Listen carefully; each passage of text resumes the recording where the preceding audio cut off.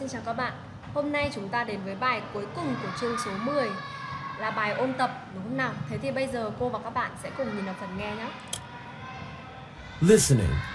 Listen and tick the box. Nghe và đánh Look at the tích. pictures. Listen. There is one example.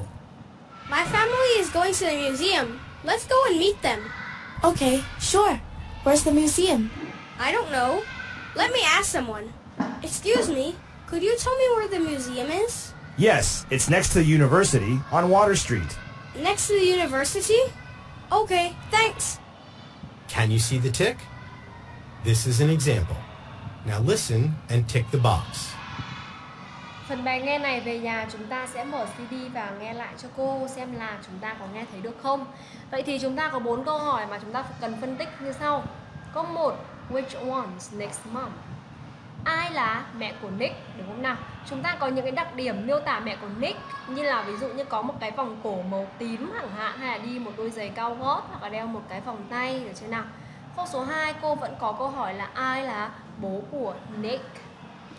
Ví dụ như là bố của Nick thì đang đeo cái đồng hồ màu đen chẳng hạn Hoặc là bố của Nick thì đang đeo cái kính màu xanh Đúng không nào? Câu số 3 cô có là What does Jane think about the statue? Jane nghĩ như thế nào về cái bức tượng này? Chúng ta có những thứ, những cái tính từ miêu tả như là pretty, interesting, ugly, đúng không? Câu 4 thì chúng ta lại có là Nick nghĩ như thế nào về cái bức tranh này? Does Nick think about the painting? có thể là cute, scary hoặc là interesting.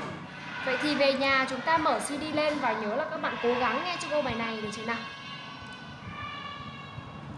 Tiếp theo thì cô sẽ có phần bài đọc và bài viết.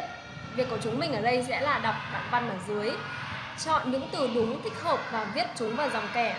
Chúng ta có câu mẫu đầu tiên người ta làm cho mình rồi. Việc của chúng ta sẽ là từ câu 1 và đến câu câu 5. Bây giờ các bạn cùng đọc nhé.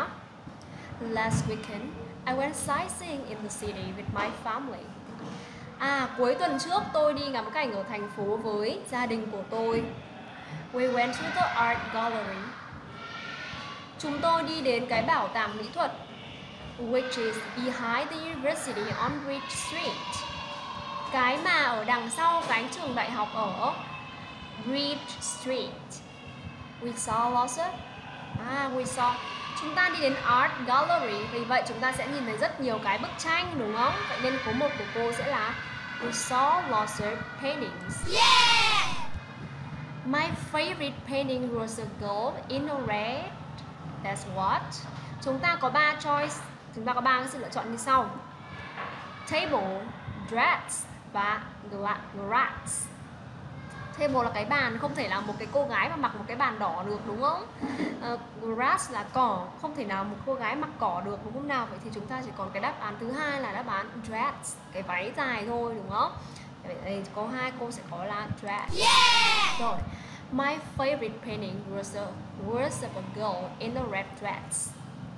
She was standing in front of an opera house and was wearing a blue blue, chúng ta có ba từ, necklace, ugly, parking lot không thể làm mà mặc một cái cái cái cái đỗ xe ô tô màu xanh được, đúng không ở đây cô chỉ có một cái danh từ duy nhất, chỉ cái trang sức đó là vòng cổ Yeah! Chưa nào I thought it was a very beautiful painting My brother didn't like it. He said he thought it was it was boring. My brother liked a painting of a monster fighting an alien. He thought it was really interesting. Rất là thú vị được chưa nào?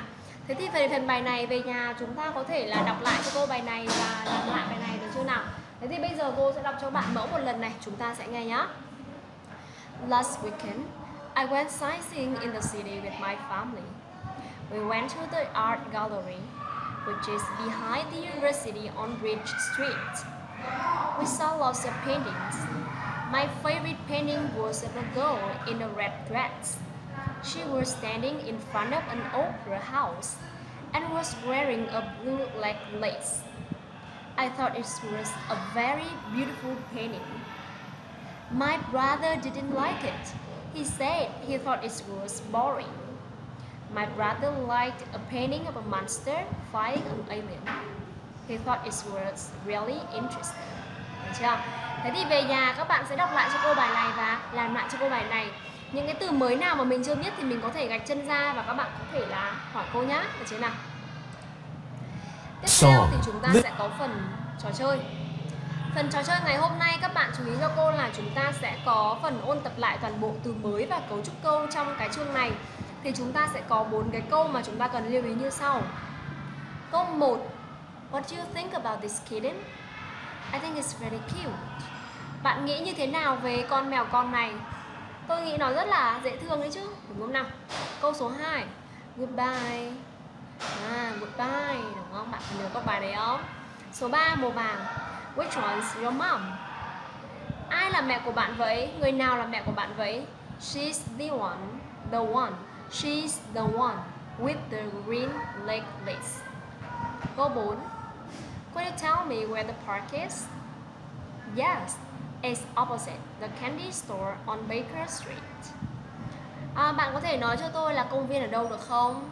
À, được thôi, nó đối diện cửa hàng kẹo ở Baker Street. Vậy thì các bạn ơi, trò chơi này của chúng mình sẽ là chơi ở hai đội đúng không nào? Chúng ta mỗi đội lần lượt hỏi và trả lời và các bạn nhớ là chúng ta bắt đầu ở đây nhá được chưa? Và kết thúc đi một vòng này rồi chúng ta sẽ kết thúc ở phía này. Thì phần này cũng là một phần rất là thú vị cho các bạn là chúng ta có thể làm lại được học lại ôn lại từ mới và cấu trúc câu trong toàn bộ cả chương này đúng không nào? Thế thì bài học ngày hôm nay của chúng mình đến đây là hết rồi. Hẹn gặp lại các bạn vào bài sau nhé bye bye!